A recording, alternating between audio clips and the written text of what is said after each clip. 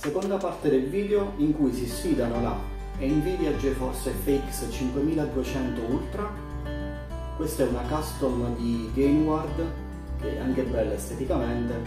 Ha un'alimentazione supplementare, come potete vedere qui, alle memorie dissipate passivamente e una bella, una bella custom diciamo che strizzava l'occhio ai videogiocatori rimane ovviamente, eh, ripeto, una, una 5200, quindi la serie proprio economica delle, delle, delle, delle FX di, di, Nvidia. Vediamo un po' cosa ci riuscirà a regalare. E la metteremo a confronto con sempre una Nvidia FX, però questa volta la 5600.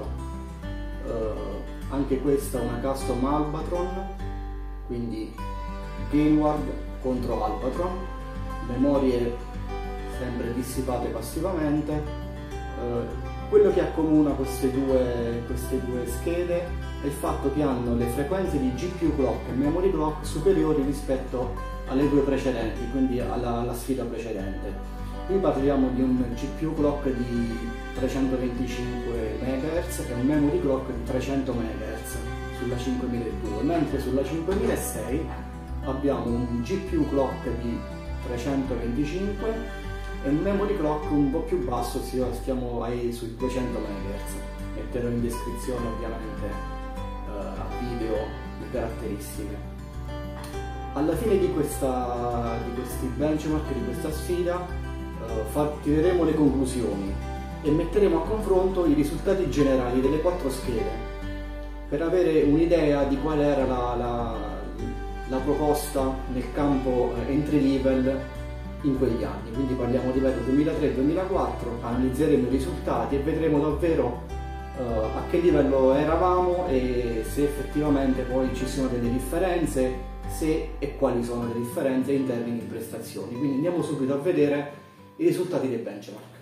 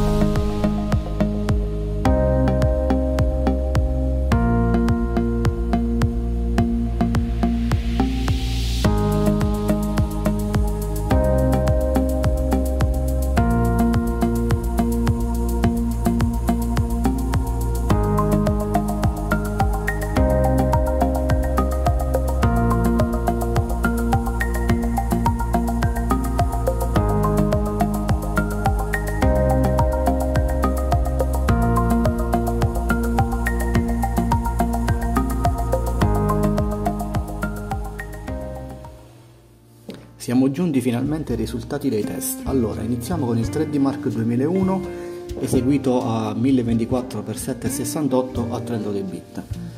Subito vediamo che la FX 5200 Ultra ha un punteggio superiore rispetto alla 5600 EQ.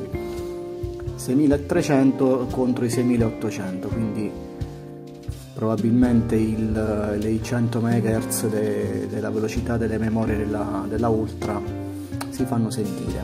Proseguendo invece in 3D Mark 03 si ribalta la situazione, la FX 5600 ha un vantaggio rispetto alla FX 5200, 2102 contro i 1954 della Ultra. Proseguiamo la demo di X-Ray Rolling, quindi eh, questo gioco del 2007 che mette a dura prova le, il GPU. Di nuovo la 5600 uh, ottiene un valore di 11 fps, 11 valore medio. rispetto alla 5200 che, siamo, che si attesta sui 9,3 la cosa interessante ora è vedere invece le quattro schede tra di loro come, come si comportano. Questo è il 3D Mark 2001 generale e stiamo tutte quante, eh, tutte quante le schede sono bene o male allineate su valori diciamo tra virgolette simili. La 5700 svetta rispetto alle altre e però insomma siamo tra i 6300 e 7004 quindi diciamo ci sono mille punti di, di scarto. Nel 3D Mark 03 a maggior ragione le, le, le quattro schede si avvicinano nei, nei risultati, quindi stiamo, vince comunque la 5700 LE, però c'è da dire che la 5700 um, è uscita quasi un anno dopo rispetto alle, alle altre schede e quindi può, può vantare una, una, maggiore potenza diciamo così dovuta al, al chip grafico un po' più evoluto. Però bene o male come vedete abbiamo valori abbastanza uniformi. Rolling demo delle quattro schede. Allora come vedete la radio 9550 svetta rispetto alle altre tre.